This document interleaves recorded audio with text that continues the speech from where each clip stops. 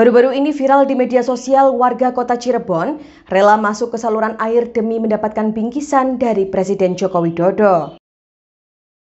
Adapun setelah melakukan kunjungan ke rumah warga di RW 5 Pengampaan Kelurahan Kalijaga, Kecamatan Harjamukti, Kota Cirebon, sebelum meninggalkan lokasi Presiden Jokowi membagi-bagikan bingkisan kepada warga yang ditemuinya.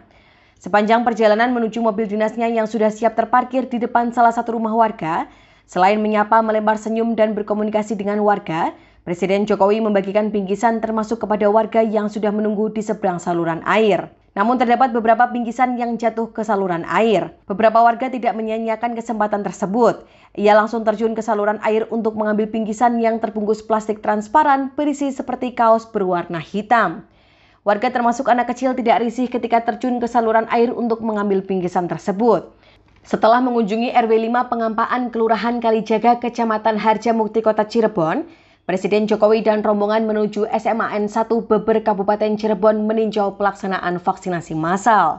Setelah itu Presiden Jokowi melanjutkan kunjungannya ke Kampung Tonjong Desa Sangkanurip, Kabupaten Kuningan, Jawa Barat meninjau pelaksanaan vaksinasi door-to-door dan ke beberapa tempat lainnya. Kunjungan Presiden Jokowi di kota atau Kabupaten Cirebon dan Kabupaten Kuningan, Jawa Barat berakhir pada peresmian Bendungan Ciberem Kuningan termasuk mengunjungi warga terdampak pembangunan Bendungan Ciberem.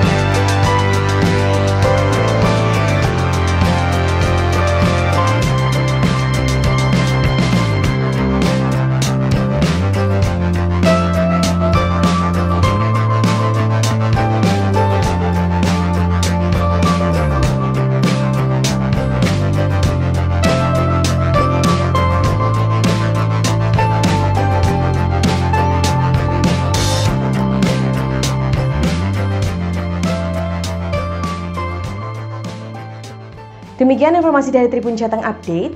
Saksikan terus Tribun Jateng Update hanya di channel YouTube Tribun Jateng.